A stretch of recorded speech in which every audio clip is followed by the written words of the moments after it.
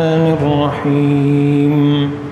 قل هو الله أحد الله الصمد لم يلد ولم يولد ولم يكن له كفوا أحد. ترجمہ قل هو اللہ أحد. کہہ دیجئے کہ اللہ ایک ہے۔ اللہ صمد اللہ بے نیاز ہے۔ لم یلد، نہ وہ کسی کا والد ہے۔ ولم یولد، نہ وہ کسی کی اولاد ہے۔ ولم یق اللہ کفون احد، اور نہیں ہے اس کے لیے کوئی بھی مثل، کوئی بھی مثال، کوئی بھی ہم پلہ اس کا نہیں ہے۔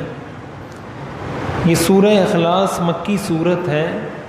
اس کے حوالے سے میں نے گزشتہ درس میں یہ بات عرض کی تھی کہ اس صورت کی احادیث میں بہت زیادہ فضیلت آئی ہے اور حضور علیہ صلاۃ والسلام نے اس کو سلس القرآن کہا ہے۔ یعنی قرآن کریم کا ایک تہائی یعنی اس کے پڑھنے سے انسان کو ایک تہائی قرآن کریم کے پڑھنے کا ثواب ملتا ہے۔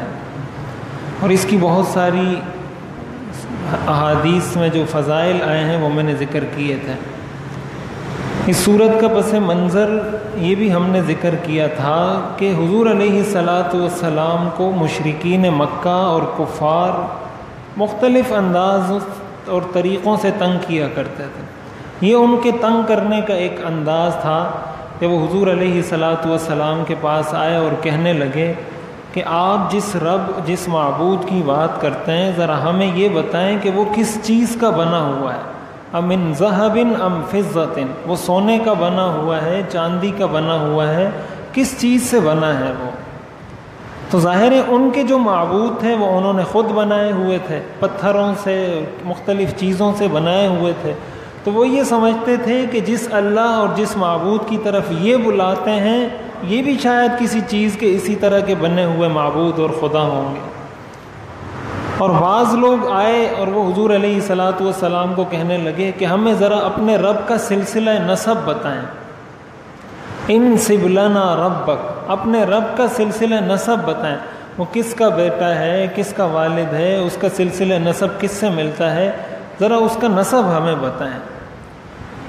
یہ سارے سوالات جب کیے تو اس موقع پر قرآن کریم کی یہ صورت نازل ہوئی ہے، جس کے اندر ان کے ان سارے سوالات کا جواب دیا گیا۔ ہے ان سوالات کو ہم سمجھتے ہیں، لیکن اس سے پہلے ایک بات سمجھنے کی یہ ہے کہ مشرقین مکہ کے ان اعتراضات سے ایک بات ہمیں سمجھنی چاہیے کہ دین اسلام پر اعتراضات کا ہونا یہ کوئی نئی بات نہیں ہے۔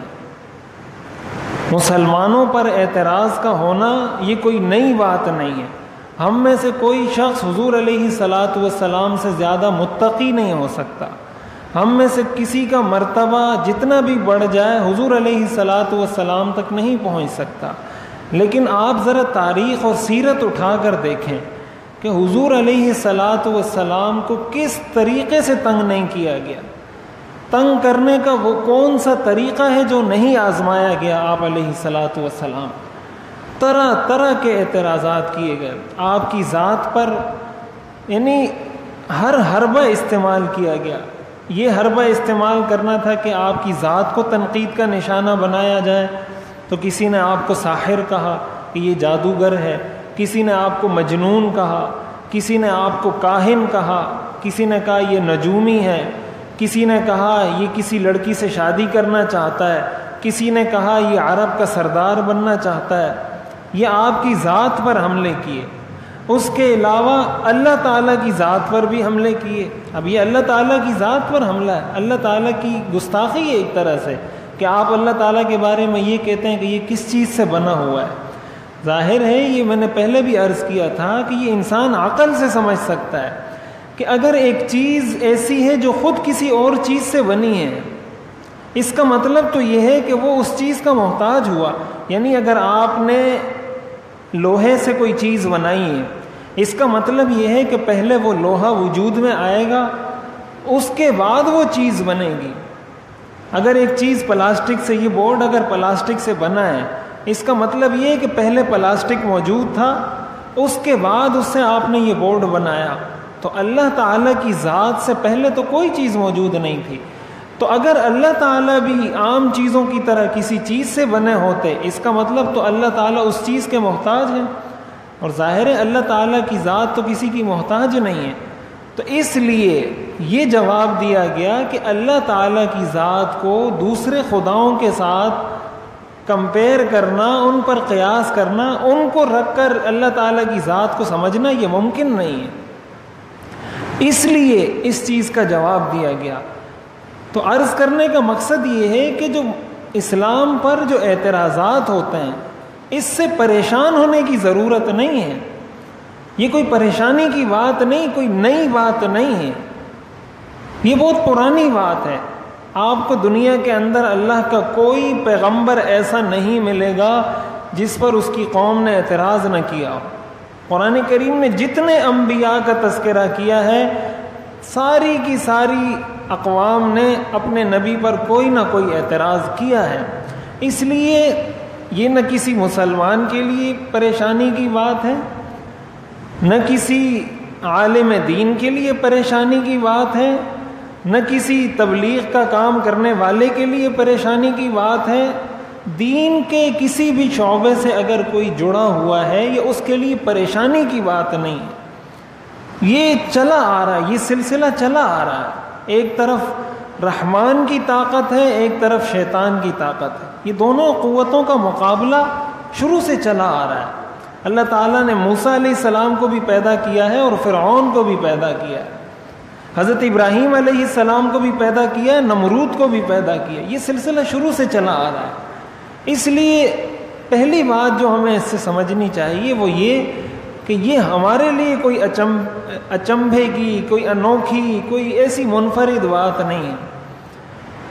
دوسرے نمبر پر قرآن کریم نے جو جواب دیا ہے، پہلی آیت اس میں فرمایا گیا، قل، آپ کہہ دیجیے۔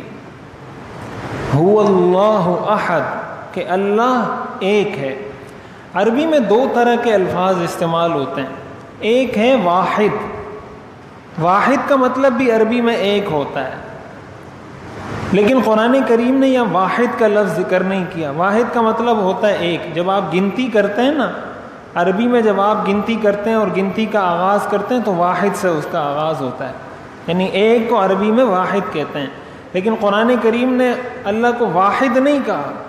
اس لیے کہ واحد کا مطلب کہ وہ دو نہیں ہے، وہ تین نہیں ہے۔ ایک کا یہی مطلب ہے نا، ایک کا مطلب ہے کہ یہ دو نہیں ہے یہ تین نہیں ہے یہ چار نہیں ہے یہ ایک ہے۔ لیکن احد اس کا ترجمہ علماء نے لکھا ہے، اردو زبان میں ہو نہیں سکتا۔ قرآن کریم کی فصاحت اور بلاغت اسی لیے قرآن کریم کے مقابلے میں عرب کوئی صورت نہیں بنا سکتے تھے۔ احد کا مطلب ہوتا ہے وہ ایک چیز جو خود کسی چیز سے بنی نہ ہو، جس کے کوئی اجزاء نہ ہو، کسی چیز سے جو نہ بنا ہو، یکتا تن تنہا، اس کو عربی میں احد کہا جاتا ہے۔ تو قرآن کریم نے اللہ کی جو صفت بیان کی ہے، وہ احد بیان کی ہے۔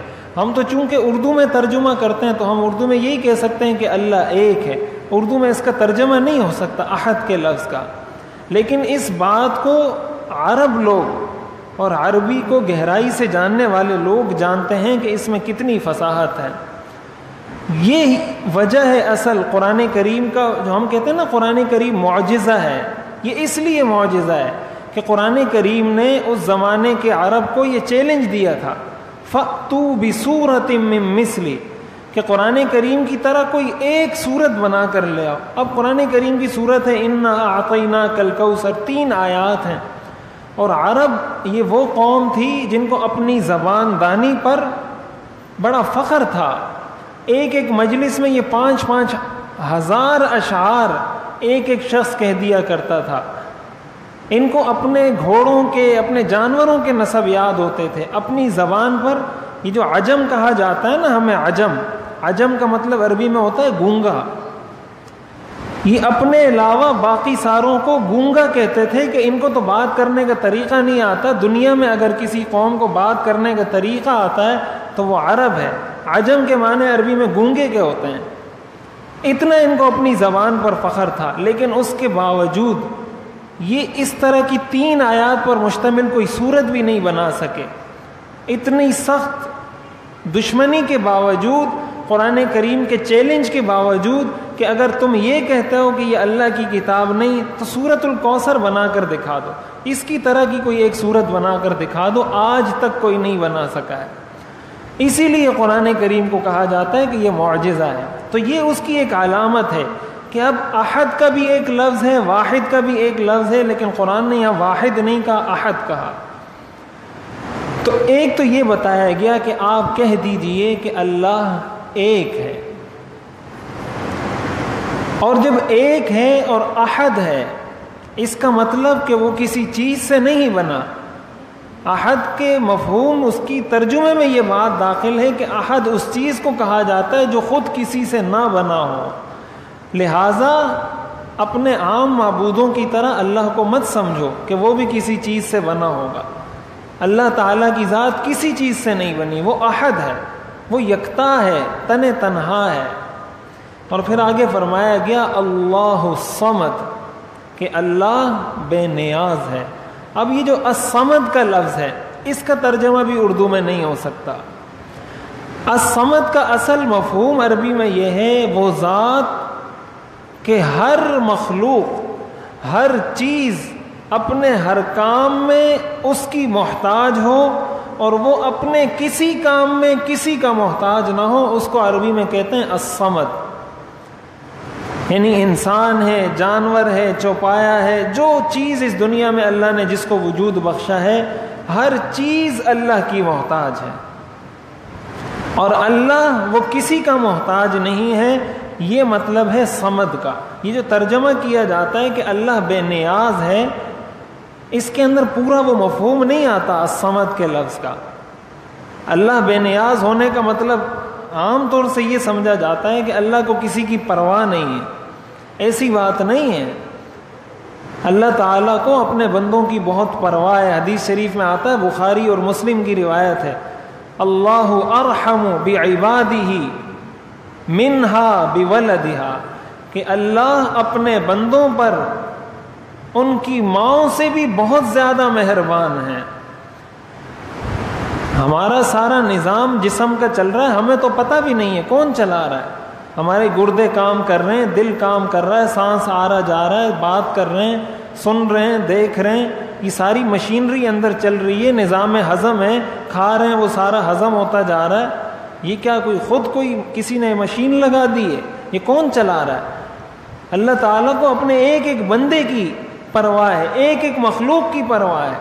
صرف انسانوں کا نظام نہیں، جانوروں کا نظام دیکھ لیں۔ جانوروں کا نظام نہیں، آپ چونٹیوں کا نظام دیکھ لیں، مکھیوں کا نظام دیکھ لیں، ایک ایک مخلوق اللہ کی۔ اب ایک چونٹی کے اندر، ایک مکھی کے اندر یہ پورا سسٹم لگانا اور اس پورے سسٹم کو پوری زندگی چلانا، یہ کوئی مذاق ہے؟ اس کا کیا مطلب ہے کہ اللہ کو کسی کی پرواہ نہیں؟ حدیث قرآن کریم میں آتا ہے، لہو معقبات من بین یدیہ ومن خلفہ یحفظونہ من امر اللہ۔ کہ ہر انسان کے ساتھ اللہ نے نہ جانے کتنے سینکڑوں فرشتے مقرر کیے ہوئے ہیں، جو اس انسان کی حفاظت کرتے ہیں۔ یہ قرآن کریم کی آیت ہے، لہو معقبات من بین جو اس کے آگے سے اور اس کے پیچھے سے اس کی حفاظت کرتے ہیں۔ علماء نے لکھا ہے کہ ایک ایک انسان کے ساتھ ساٹھ سے زیادہ فرشتے اللہ نے مقرر کیے ہیں، جو انسان کی حفاظت کرتے ہیں۔ دو فرشتے تو یہ کرامن کاتبین جو لکھتے ہیں ان کے علاوہ ساٹھ فرشتے ایک ایک انسان کے ساتھ مقرر کیے ہوئے ہیں۔ تو اللہ کو اپنے بندوں کی بہت پرواہ ہے۔ یہ جو ہمیں تھوڑی سی تکلیف پہنچتی ہے اور ہم شکوے شکایت شروع کر دیتے ہیں۔ اسی لیے اللہ تعالیٰ اس سے منع فرماتے ہیں کہ یہ سارا نظام جو میں چلا رہا ہوں، یہ تمہیں نظر نہیں آتا۔ لیکن ایک تکلیف پہنچی تو اس پر اللہ سے شکوے شکایت شروع کر دیے تو اللہ سمت کا مطلب یہ ہے کہ اللہ کسی کا محتاج نہیں ہے۔ ساری مخلوق اس کی محتاج ہے اور وہ کسی کا محتاج نہیں ہے، یہ مطلب ہے اللہ سمت کا۔ لہذا معبود ہونے کے لائق وہی ذات ہو سکتی ہے جو خود کسی کی محتاج نہ ہو۔ اگر کوئی شخص، کوئی ذات خود کسی کی محتاج ہے، اس کا مطلب وہ معبود نہیں ہو سکتا۔ مثلا کوئی معبود کسی چیز سے بنا ہے، تو کم از کم اس چیز کا تو وہ محتاج ہوا۔ ایک انسان کیسے معبود ہو سکتا ہے؟ ایک انسان کی پرستش، اس کی پوجا پاٹ کیسے جائز ہو سکتی ہے؟ ایک پتھر سے آپ نے بت بنایا، اس کی عبادت کیسے جائز ہو سکتی وہ تو آپ کے رحم و کرم پر ہے۔ اس کو تو جب چاہیں آپ توڑ دیں، جب چاہیں آپ بنا لیں، وہ تو آپ کے رحم و کرم پر ہے۔ تو جو خود کسی کا محتاج ہو وہ معبود نہیں ہو سکتا۔ معبود ہونے کے لائق وہ ذات ہے جس کو اپنے کسی کام میں کسی قسم کی کوئی احتیاج نہ ہو اور ایسی ذات دنیا میں صرف ایک اللہ کی ہے۔ اسی لیے فرمایا، اللہ سمت کہ اللہ بے نیاز ہے۔ ساری مخلوق اس کی محتاج ہے، وہ کسی کا محتاج نہیں ہے۔ اور آگے فرمایا، لم یلد و لم یولد۔ نہ وہ کسی کا والد ہے اور نہ وہ کسی کی اولاد ہے۔ یہودی حضرت عزیر علیہ السلام کو اللہ کا بیٹا قرار دیتے ہیں۔ عیسائی حضرت عیسیٰ علیہ السلام کو اللہ کا بیٹا قرار دیتے ہیں۔ قرآن کریم میں آتا ہے، وقالت الیہود عزیر ابن اللہ، وقالت النصارى المسیح ابن اللہ۔ کہ یہود کہتے ہیں عزیر اللہ کا بیٹا ہے، عیسائی کہتے ہیں حضرت عیسیٰ اللہ کے بیٹے ہیں۔ مشرقین مکہ کہا کرتے تھے کہ فرشتے اللہ کی بیٹیاں ہیں۔ ان ساری چیزوں کی تردید کی گئی ہے کہ اللہ کی کوئی اولاد نہیں ہے۔ اس لیے کہ اولاد اگر کسی کی ہو، اولاد کا مطلب یہ ہے کہ اولاد اپنے والدین کا جز ہوا کرتے ہیں۔ اسی کے جسم کا حصہ ہوا کرتے ہیں۔ اولاد اپنے والدین کے جسم کا حصہ ہوا کرتے ہیں، اس کا جز ہوا کرتے ہیں۔ تو اللہ تعالیٰ کا تو کوئی جز ہے نہیں، اللہ تعالیٰ کے تو کوئی اجزاء ہے نہیں۔ اور اگر اللہ تعالیٰ کی اولاد ہو، اللہ تعالیٰ کا کوئی جز کسی میں شامل ہو، پھر تو وہ بھی معبود بن جائے گا۔ اور معبود سوائے اللہ کے اور کوئی نہیں۔ اسی لیے فرمایا، لم یلد۔ اللہ کی کوئی اولاد نہیں۔ ولم یولد اور نہ اللہ کسی کی اولاد ہے۔ نہ وہ والد ہے، نہ اولاد ہے۔ اس لیے کہ اولاد بھی اپنے وجود میں والدین کے محتاج ہیں۔ والدین کے بغیر اولاد کا وجود، یہ اللہ کا نظام نہیں۔ تو اولاد بھی محتاج ہے، والدین بھی محتاج ہیں۔ اس لیے اللہ تعالیٰ نہ والد ہے، نہ اولاد ہے۔ لم یلد ولم یولد اور آگے فرمایا، ولم یق اللہ احد نہیں ہے اس کا کوئی بھی ہم سر کوئی بھی ہم پلہ۔ اللہ کے برابر کوئی بھی نہیں اللہ کے برابر ہونے کا مطلب یہ ہے کہ جو اللہ کی صفات ہیں، اللہ کی عبادت کا جس طرح حق ہے اللہ کا جو مرتبہ، جو مقام ہے، وہ کسی اور کا نہیں ہے۔ نہ کسی ولی کا ہے، نہ کسی قطب کا ہے، نہ کسی پیغمبر کا ہے، نہ کسی رسول کا ہے۔ اللہ کے ہم سر، اللہ کا ہم پلہ کوئی نہیں ہے۔ حضور علیہ سلاۃ والسلام نے اپنے صحابہ کو یہ نصیحت فرمائی تھی۔ لا تطرونی کما اطرت النصارى المسیح ابن مریم۔ کہ میری تعریف میں اتنا مبالغہ نہیں کرنا جتنا مبالغہ عیسائیوں نے حضرت عیسیٰ علیہ السلام کی تعریف میں کیا کہ ان کو اللہ کا بیٹا بنا دیا۔ اور آپ نے یہ بھی فرمایا کہ میری قبر کو میرے اس دنیا سے جانے کے بعد سجدہ گاہ مت بنانا۔ اس لیے کہ سجدہ کرنا یہ اللہ کا حق ہے، عبادت کرنا یہ اللہ کا حق ہے۔ اللہ کا در وہ در ہے جس پر انبیاء بھی سر جھکاتے ہیں، جس پر اولیاء بھی سر جھکاتے ہیں، کوئی شخص اس وقت تک ولی ہو نہیں سکتا جب تک وہ اللہ کے در پہ اپنے سر کو نہ جھکائے۔ تو جس در پہ وہ ولی سر جھکا رہا ہے، اسی در پر دوسرے آدمی کو بھی سر جھکانے کا حکم ہے۔ اس لیے کہ اللہ کے برابر کوئی نہیں۔ اور یہ اسلام کا بنیادی عقیدہ ہے، جس کو کہا جاتا ہے عقیدہ توحید۔ اور اس صورت کی جو اتنی فضیلت ہے کہ اس کو ایک تہائی قرآن کا قرار دیا گیا ہے، اس کی بنیادی وجہ بھی یہ ہے کہ اس کے اندر اسلام کا یہ بنیادی عقیدہ بیان ہوا ہے۔ تو ہم جب یہ صورت پڑھتے ہیں، تو ہمیں یہ پتہ ہونا چاہیے۔ اور اس عقیدہ توحید کے ہماری زندگی پر بڑے اثرات ہوتے ہیں۔ یہ ایسا نہیں ہے کہ ہم نے عقیدہ توحید اپنایا اور محض عقیدہ تھا۔ جب انسان ایک اللہ کو مانتا ہے، یہ بات تو آپ نے سنی ہوگی کہ جو اللہ سے ڈرتا ہے، وہ پھر کسی سے نہیں ڈرتا۔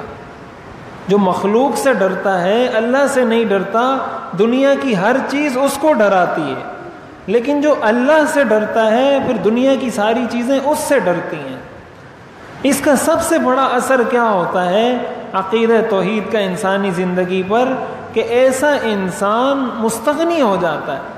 مستغنی ہونے کا مطلب یہ ہے کہ اس کو یہ پتا ہوتا ہے کہ مجھے سوائے اللہ کے نفع نقصان پہنچانے والا کوئی نہیں۔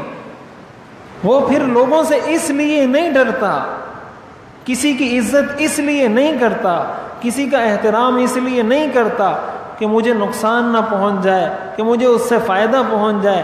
اس لیے کہ یہ اس کا عقیدہ ہے کہ اللہ ایک ہے۔ حضور علیہ صلاۃ والسلام نے حضرت عبداللہ ابن عباس رضی اللہ تعالیٰ عنہ کو ایک نصیحت فرمائی تھی عزستعنتا فستعن باللہ کہ جب مدد طلب کرو تو ایک اللہ سے مدد طلب کرنا۔ وعلم اور جان لو ان الامت لو اجتمعت، کہ ساری کی ساری امت اگر جمع ہو جائے علا ان ينفعوك بشيء، لم ينفعوك الا بشيء قد كتبه الله لك۔ وہ آپ کو فائدہ نہیں پہنچا سکتے مگر وہی جو اللہ نے لکھا ہے۔ وہ وَإِنِ اجْتَمَعُوا عَلَىٰ أَن يَزُرُّوكَ بِشَيْءٍ، لَمْ يَزُرُّوكَ إِلَّا بِشَيْءٍ، قَدْ كَتَبَهُ اللَّهُ لَكَ۔ اگر وہ نقصان پہنچانا چاہیں ساری دنیا جمع ہو کر، تو نقصان نہیں پہنچا سکتی سوائے اس کے جو اللہ نے لکھا ہے۔ رفعت الاقلام وجفت الصحف۔ قلم اٹھا لیے گئے، صحیفے خشک ہو گئے، تقدیر لکھی جا چکی۔ تو عقیدہ توحید کا انسان کی زندگی پر سب سے بڑا اثر یہ ہوتا ہے کہ پھر وہ کسی سے ڈرتا نہیں۔ اس کو پتہ ہوتا ہے کہ مجھے نفع نقصان پہنچانے والی ذات وہ ایک اللہ کی ہے۔ اس لیے اس صورت کو جب ہم پڑھیں، تو ہمارے سامنے یہ سبق ہونا چاہیے کہ ہم اپنے آپ کو مسلمان کہتے ہیں۔ سبق کے درجے میں کسی چیز کو اختیار کرنا اس سے شریعت منع نہیں کرتی۔ لیکن نتیجے کو اللہ کے سپرد کرنا چاہیے۔ اگر آپ کسی ڈاکٹر کے پاس جاتے ہیں، شریعت کا حکم ہے، آپ بیمار ہیں، آپ جائیں، سنت طریقہ ہے، ڈاکٹر سے علاج کروائیں۔ لیکن یہ مت کہیں کہ مجھے شفا ڈاکٹر نے دی ہے۔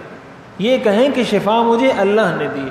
اس لیے کہ کسی ڈاکٹر کے ہاتھ میں شفا نہیں ہے۔ اس لیے کہ اگر ڈاکٹر کے ہاتھ میں شفا ہوتی تو کبھی ڈاکٹر خود بیمار نہیں ہوتا۔ لیکن ہم نے بہت سارے ڈاکٹروں کو بیمار دیکھا ہے۔ اس کا مطلب کہ ڈاکٹر کے ہاتھ میں نہیں ہے شفا شفا اللہ کے ہاتھ میں۔ اور دوسرا پیغام ہمیں یہ ملتا ہے، اس صورت کا جو سب سے اہم درس ہے، جو سب سے اہم سبق ہے، وہ یہ کہ ہم اللہ سے مانگیں، اللہ کے در پہ جھکیں۔ یہ جو ہمارے ہاں یہ بہت ساری چیزیں رائج ہو چکی ہیں۔ یہ بالکل وہی معاشرے کی عکاسی کرتا ہے جو عرب کا معاشرہ تھا کہ انہوں نے رزق کے لیے ایک خدا بنایا ہوا تھا، اولاد کے لیے ایک خدا بنایا ہوا تھا، کاروبار کے لیے ایک خدا بنایا ہوا تھا۔ ہمارے ہاں لوگ جاتے ہیں مزاروں پر۔ اب یہ افسوس کی بات ہے کہ ایک آدمی اللہ تعالیٰ کی ذات کو چھوڑ کر ایک ایسے شخص سے مانگنے جا رہا ہے جو خود آپ کا محتاج ہے۔ چاہیے تو یہ تھا کہ آپ کچھ پڑھ کر اس کو ایسال ثواب کرتے۔ لیکن ہمارے ہاں قبروں پر جا کر سجدے کیے جاتے ہیں۔ آپ کبھی جائیں، آدمی دیکھ کر حیران ہو جاتا ہے۔ ایک عقل رکھنے والا، ایک شعور رکھنے والا انسان وہ بھی ایسی حرکت کر سکتا ہے، وہ بھی ایسے کام کر سکتا ہے۔ قبر کے سامنے سجدہ کرنے کا کیا مطلب؟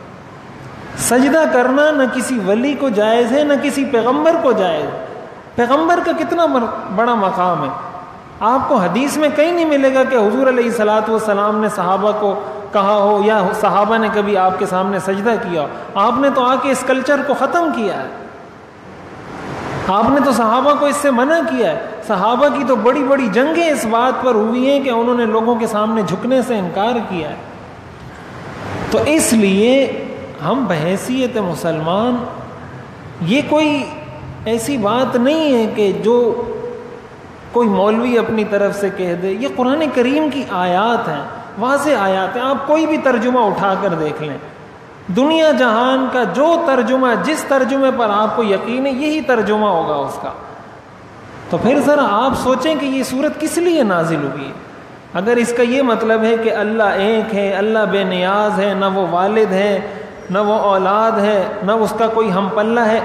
اس ساری چیز کو ذکر کرنے سے مقصد کیا ہے؟ آخر کوئی پیغام دینا مقصود ہوگا نا؟ قرآن کریم کوئی قصے، کہانی کی کتاب تو ہے نہیں۔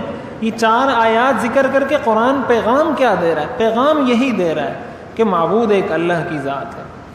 اور جب انسان اس چیز پر آتا ہے، تو پھر اس کے سارے راستے خود و خود ٹھیک ہوتے چلے جاتے ہیں۔ اور جب یہ چیز خراب ہوتی ہے، اس میں کوئی خلل آتا ہے، عقیدے میں کوئی خلل آتا ہے، اس کی ساری چیزیں خراب ہوتی چلی جاتی ہیں۔ اس لیے ہمیں اس عقیدے کو بہت اچھی طرح سمجھنا بھی چاہیے اور اس کو اپنی زندگی کا حرز جاں بنانا چاہیے، اپنی زندگی کا لازمی حصہ بنانا چاہیے۔ اس کے بغیر نجات کی کوئی صورت ممکن نہیں ہے۔ آخرت میں اس کے بغیر نجات نہیں ہو سکتی۔ کوئی دنیا کا جتنا اچھے سے اچھا کام کر لے، اگر وہ اللہ کو ایک نہیں مانتا، اس کی نجات کی آخرت میں کوئی صورت نہیں۔ یہ قرآن کا اٹل فیصلہ ہے۔ اس کے اندر کسی قسم کی کوئی لچک مذہب اسلام میں نہیں ہے۔ اس لیے، اور یہ تو صرف ایک صورت ہے، مختصر۔ قرآن کریم کے اگر تین حصے کیے جائیں تو آپ سمجھیں کہ دس پاروں میں قرآن نے یہی ایک مضمون بیان کیا یہ ایک مضمون مختلف انداز سے قرآن نے بیان کیا تو اس لیے ہمیں اس کو اختیار کرنے کی ضرورت ہے۔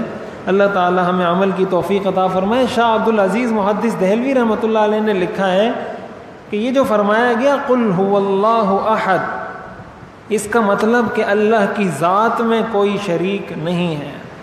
یہ جو فرمایا گیا، اللہ الصمد اس کا مطلب یہ ہے کہ اللہ کے منصب میں، اللہ کے عہدے میں بھی کوئی شریک نہیں ہے۔ یہ جو فرمایا گیا، لم یلد ولم یولد، اس کا مطلب یہ ہے کہ اللہ کے نصب میں بھی کوئی شریک نہیں ہے۔ اور یہ جو فرمایا گیا، ولم یق اللہ کفون احد، اس کا مطلب یہ ہے کہ اللہ کی صفات میں بھی کوئی شریک نہیں ہے۔ رازق، خالق، مالک، مشکل کشا، حاجت روا، نفع، نقصان پہنچانے والا، اولاد دینے والا، اولاد لینے والا، مختار کل، یہ ساری اللہ کی صفات ہیں۔ لم یق اللہ کفون احد، اس کا کوئی ہم پلہ نہیں یعنی ان ساری صفات میں کوئی شریک نہیں۔ اللہ تعالی ہمیں عمل کی توفیق عطا فرمائے۔ ایک مرتبہ ترجمہ کرتے ہیں پھر دعا کرتے ہیں۔ قل، آپ کہہ دیجیے ہو اللہ احد اللہ ایک ہے۔ اللہ صمد، اللہ بے نیاز ہے۔ لم یلد، نہ وہ کسی کا والد ہے۔ ولم یولد، نہ وہ کسی کی اولاد ہے۔ ولم یق اللہ کفون احد، اور نہیں ہے اس کا کوئی بھی ہم پلہ، نہیں ہے اس کا کوئی بھی مثل اللہ تعالی ہمیں عمل کی توفیق عطا. فرمائے الحمد للہ رب العالمین والصلاة والسلام على رسوله محمد وآلہ واصحابہ اجمعین ربنا آتنا في الدنيا حسنة وفي الآخرة حسنة وقنا عذاب النار. ربنا لا تجعلنا فتنة للقوم الظالمين ونجنا برحمتك من القوم الكافرين. يا حي يا قيوم برحمتك نستغيث. أصلح لنا شأننا كله ولا تكلنا إلى أنفسنا طرفة عين. ربنا تقبل منا إنك أنت السميع العليم. وتب علينا إنك أنت التواب الرحيم. وصلى الله تعالى على خير خلقه محمد وعلى آله وأصحابه أجمعين. آمين برحمتك يا رحمة